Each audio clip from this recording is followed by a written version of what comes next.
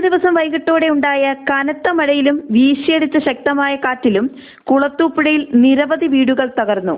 കുളത്തൂപ്പുഴ പതിനൊന്നാം മൈൽ വാർഡിലാണ് മൂന്നോളം വീടുകൾ തകർന്നത്. പതിനൊന്നാം മൈൽ ഇടയിലെ വീട്ടിൽ തങ്കപ്പന്റെ വീടിന് മുകളിലേക്ക് പ്ലാവുമരം ഒടിഞ്ഞു വീണു. ഈ സമയം തങ്കപ്പന്റെ മകൻ വീടിനുള്ളിൽ ഉണ്ടായിരുന്നുവെങ്കിലും ശബ്ദം കേട്ട് ഓടി മാറിയതിനാൽ അപകടം ഒഴിവായി. വീടിന്റെ ഒരു മുറിയും അടുക്കളയും പൂർണമായും തകർന്നു. വാർഡ് മെമ്പർ സുബിലാജ് കുമാറിന്റെ നേതൃത്വത്തിലെത്തിയ നാട്ടുകാർ പിന്നീട് മരം മുറിച്ചു നീക്കി. അപകടാവസ്ഥയിലായ വീട്ടിൽ നിന്നും തങ്കപ്പനെയും മകനെയും മറ്റൊരിടത്തേക്ക് മാറ്റി പാർപ്പിച്ചു.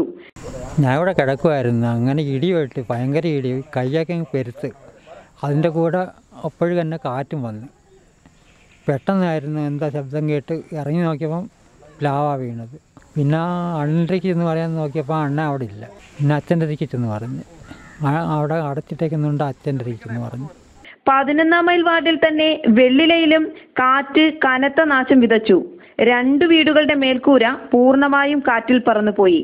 വെള്ളില ആനന്ദ് ഭവനിൽ ലളിത അമ്പിളി വിലാസത്തിൽ മിനി എന്നിവരുടെ വീടുകളുടെ മേൽക്കൂരയാണ് കാറ്റിൽ തകർന്നത്. വീടുകൾക്കും കാര്യമായ തകരാർ സംഭവിച്ചിട്ടുണ്ട്. റവന്യൂ അധികൃതർ എത്തി നഷ്ടം കണക്കാക്കി എത്രയും പെട്ടെന്ന് നഷ്ടപരിഹാരം നൽകാനുള്ള നടപടി സ്വീകരിക്കണമെന്ന് ഗ്രാമപഞ്ചായത്ത് അംഗം സി സുബിലാഷ് കുമാർ ആവശ്യപ്പെട്ടു. നമ്മുടെ പതിനൊന്നാം മൈൽ വാർഡിലെ തങ്കപ്പൻ എന്ന് പറയുന്ന അദ്ദേഹത്തിന്റെ വീടാണ്. ഇപ്പോൾ ഇടിമിന്നലേറ്റ്.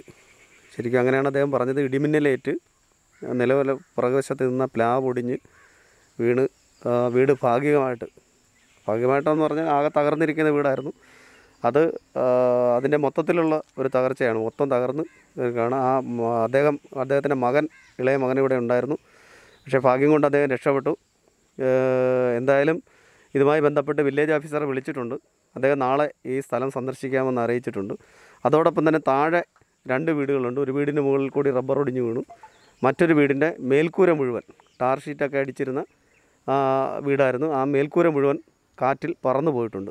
എത്രയാണ് ഇതുമായി ബന്ധപ്പെട്ട് ഇവിടെ ഉണ്ടായിട്ടുള്ള സംഭവങ്ങൾ. എത്രയും പെട്ടെന്ന് അടിയന്തര ധനസഹായങ്ങൾ ഉണ്ടായെങ്കിൽ അവർക്ക് താമസിക്കാനുള്ള ഒരിടം മറ്റൊരിടം ഇല്ലാത്തതുകൊണ്ട് ഈ പ്രശ്നങ്ങളിൽ അടിയന്തരമായൊരു ധനസഹായം ഉണ്ടായെങ്കിലേ മതിയാവുകയുള്ളൂ.